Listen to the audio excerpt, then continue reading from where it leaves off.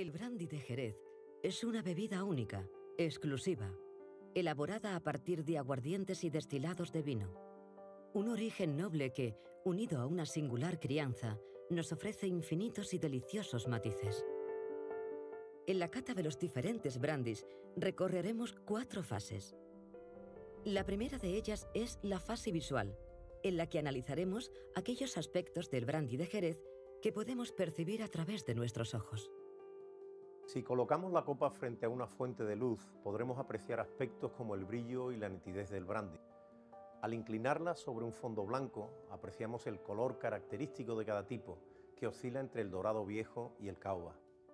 En los bordes podremos también distinguir tonos verdosos, indicativos de una larga crianza. Sobre la gama cromática que nos ofrece el brandy de Jerez intervienen factores como su tiempo de crianza. Cuanto más prolongada, más oscuro será el brandy, o los vinos que contuvieron las botas donde ha sido envejecido.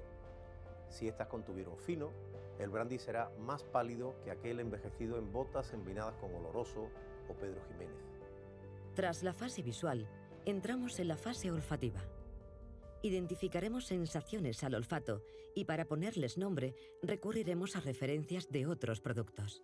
En la fase olfativa percibiremos dos tipos de aromas fundamentales, los procedentes de los aguardientes más intensos en los brandis más jóvenes y más atenuados por el aroma a madera en los más viejos, y los que nos indican el envinado de las vasijas de crianza.